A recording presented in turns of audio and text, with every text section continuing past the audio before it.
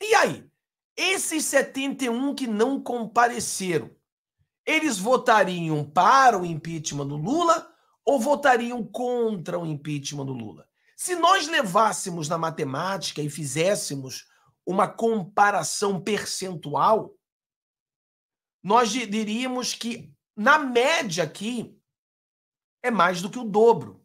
Ou seja, mais da metade. Mais da metade dos deputados votaram não.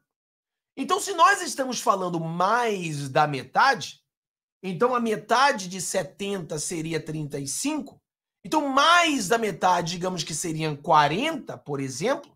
Se nós tivéssemos 40 dos 70 votando que não, nós teríamos mais do que suficiente votos para o impeachment do Lula. Então, isso aqui é uma coisa interessante que muitas pessoas estão falando, e matematicamente começa a ter uma possibilidade. Nós estamos claramente fazendo uma conjectura aqui, né? Porque são dois assuntos diferentes, mas é fato de que quem votou não votou contra o Lula, e é fato de quem votou sim votou a favor do Lula. E matematicamente era o dobro. Se o dobro dos 70, né? Se mais da metade dos 70 votarem em favor é, ou votarem contra o Lula, nós teríamos mais de 350 votos. E para o impeachment seriam 342. Então isso aí faz interessante, né? Faz com que o, o, o assunto do impeachment fique cada vez mais interessante para aqueles que acreditam que Lula será impeachmentado. E aí, o resultado dos senadores. 11 senadores fizeram sim, votaram a favor do Lula, e 52 disseram que não, e votaram contra o Lula.